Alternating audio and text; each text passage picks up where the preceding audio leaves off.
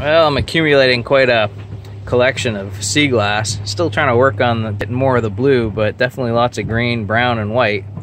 I don't know if this is a, a commentary on how shitty we treat our planet or how nature can take all the shit we throw at it and make something beautiful out of it. But anyways, there's my sea glass.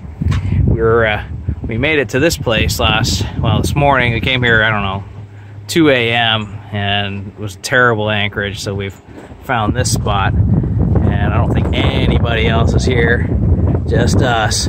So a little piece of paradise all to ourselves.